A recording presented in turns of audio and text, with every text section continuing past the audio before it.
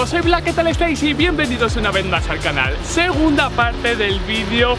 Y ahora toca probar aquí este Servi, el Mustang. Y por último el Camaro que desde mí, o sea, juraría que es la primera vez que voy a conducir un coche, un coche automático así que va a estar divertido. Vamos a empezar por el Servi que yo creo que tenéis un montón de ganas de verla así que vamos a darle calma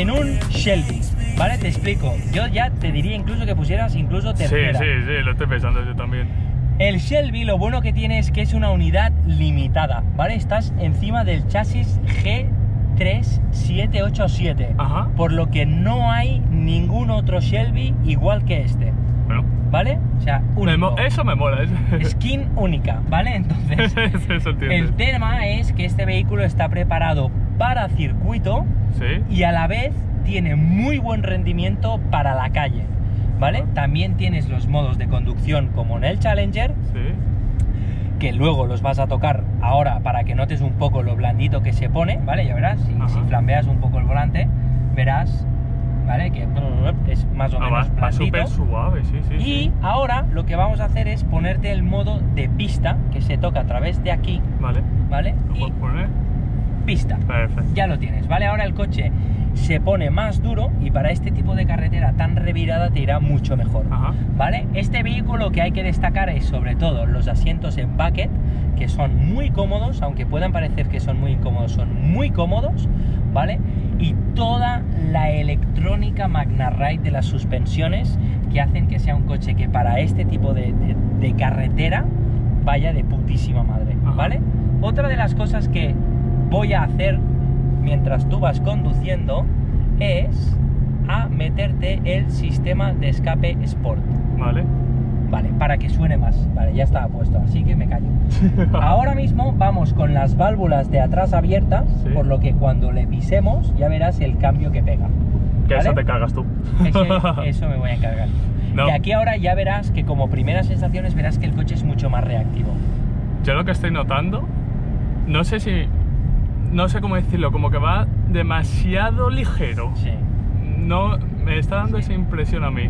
Sí, porque es un coche, ya te digo, el, el- el fin de los Shelby siempre ha sido el circuito, ¿sabes? Entonces son coches que, has- que han estado muy preparados siempre para el circuito. ¿Y cuántos caballos tenía este? 526. ¿Es el que más caballos tiene de todos los que vamos a probar? Sí, es el que más caballos tiene. Pues me sorprende. Hostia, es que no, no sé cómo, por ejemplo, estoy hablando ahora mismo, lo estoy comparando con el Dodge y noto que, no sé, como que es como ligero, como una, es que no sé cómo decir, como Sí. una pluma, no Sí. sé, es, es- Sí, se me hace muy fácil, bastante más fácil de manejar. Lo que tienen los Dodge, que es lo que a mí me molan, es esa brusquedad y ese carácter es tan especial que tienen. Sí, pero yo pienso que eso a lo mejor te hace estar como más atento, Sí. como más Un coche tenso. que disfrutas mucho más. Bueno, yo, ¿eh? Ya te digo, Sí. yo lo disfruto. Claro, depende mucho más. del carácter de cada uno. eh, le gusta ir como veas, pero a mí eso que el coche. ¡guau! Y aparte, Y- otra cosa que también te quería preguntar, todos los coches que estamos probando, ¿todos tienen tracción trasera? Todos, Todos, vale. todos. Todos. Y el botón que nunca tienes que tocar es el de El de- desconectar. sí, porque si no- Es, hostia asegurada. O sea, hostia asegurada. Si no, GG. Písale. Se nota, ¿eh? Se nota. Me puede dar a lo mejor un poquito de, de miedo y es que, ¿cómo, ¿cómo decirlo? A la hora de conducirlo, no lo toque, llevo una bestia, ¿sabes? Ya. Y a la hora que lo aprietas es como, ojo, cuidado que sí está. Está como dormida. Eso es.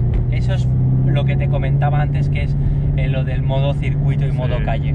O sea, este coche tiene muchísimo, pero muchísimo eh, jugo para sacarle. Es Sí, una- es una barbaridad. Es una barbaridad. Yo, por ejemplo, me veo conduciendo por mi pueblo con este coche, pero tranquilamente. Eh. Sí, sí. Bueno, es que es dócil, es fácil. Sí, sí, sí. Tiene este carácter también de hostia, le piso y ¡buah! y enseguida me, me lleva al sitio. Pero a mí, ya te digo, pues el Corvette en curvas, como has visto, es un puto espectáculo. Ah. No se va. Lo que tienes es tan bajo. da miedo. Da mucho miedo el Colbert. Sí, sí. De verdad, písale un poquito.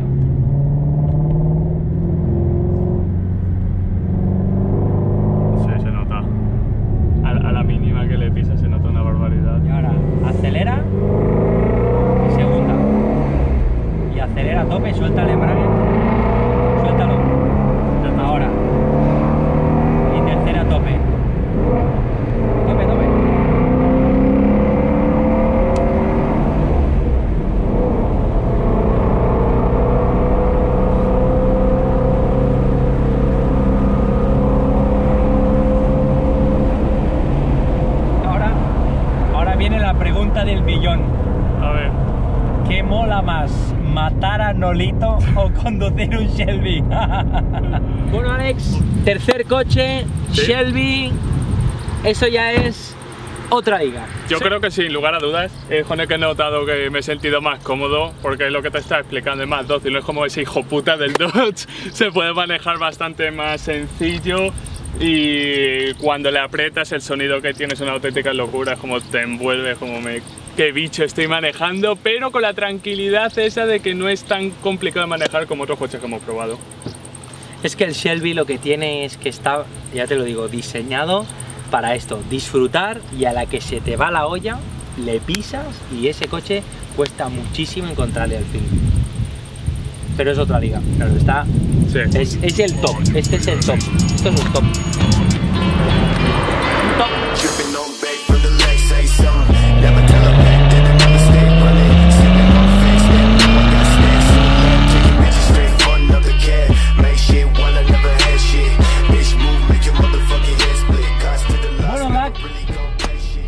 Cuarta unidad Y última, y última por hoy.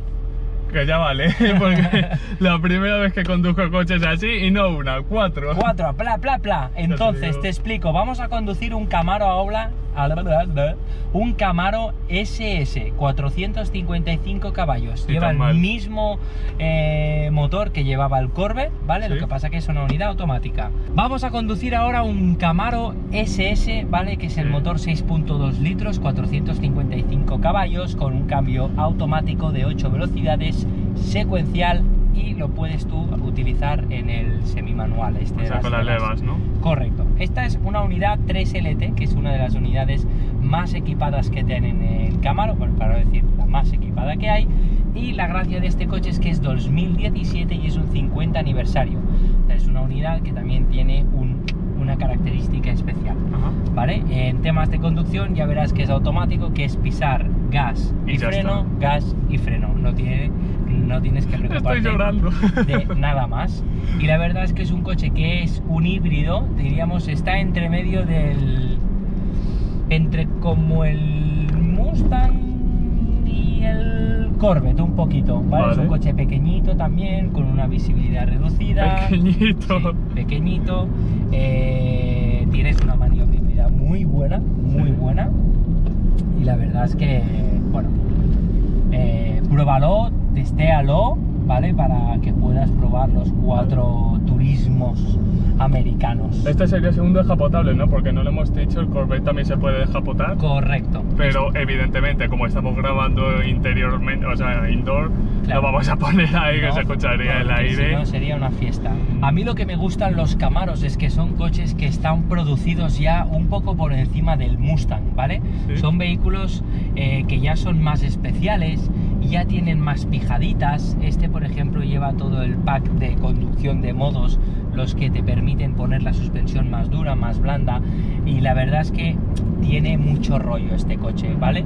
Son vehículos que son como más deportivos y van más equipados. El punto bueno del Camaro es este, que es un coche que tiene como más...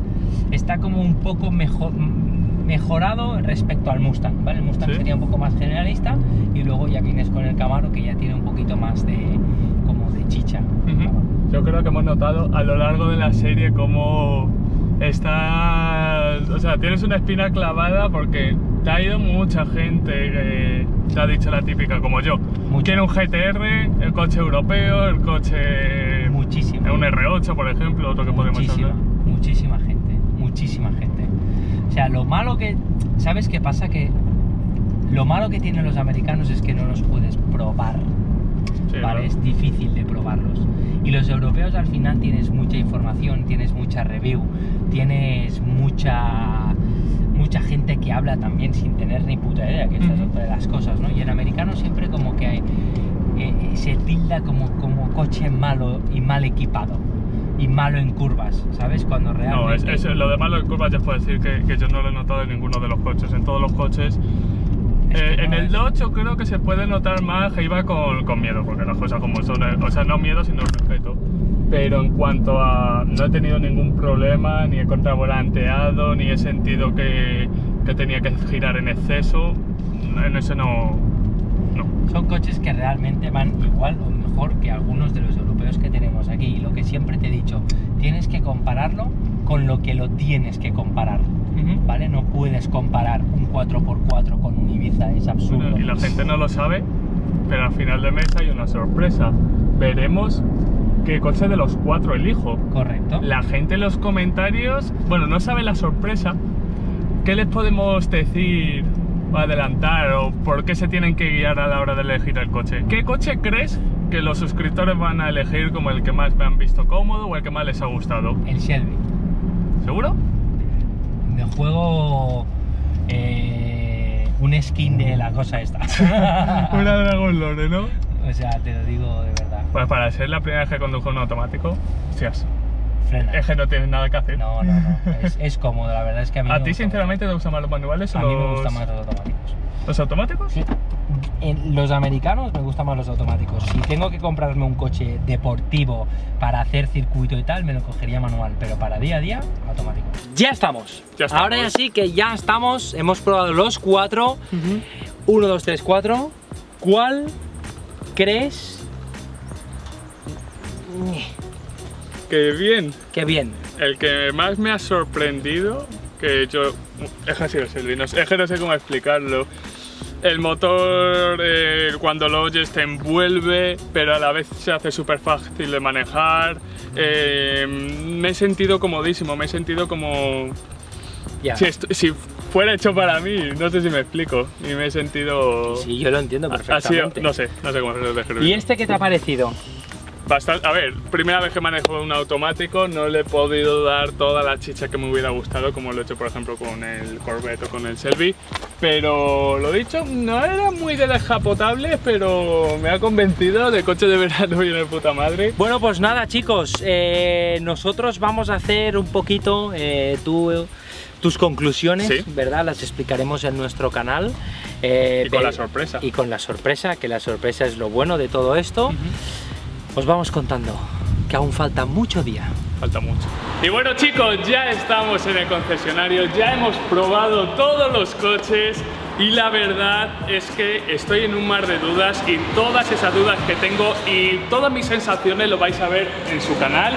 Tenéis el enlace en la descripción donde cuento todas mis sensaciones con cada uno de los coches, pero lo importante, espero que hayáis aprendido gracias a Alex, espero que os hayamos transmitido lo que he sentido en cada momento a la hora de la conducción. Y bueno, también mete los hype de que va a haber una cosa muy importante que me va a ayudar a decidir qué coche elegir el día 31 y que vosotros podéis eh, con vuestras ¿cómo decirlo? con vuestras sugerencias podéis decir qué coche creéis que debería elegir de estos cuatro que ha presentado aquí Alex que me ha traído que sin lugar a dudas ha sido un espectáculo me lo he pasado increíble muchísimas gracias lo dicho, su canal en la descripción, su página por si queréis ver los coches también. Así que espero que os haya gustado esta ida de olla y nos vemos mañana con más. Un saludo, hasta la próxima.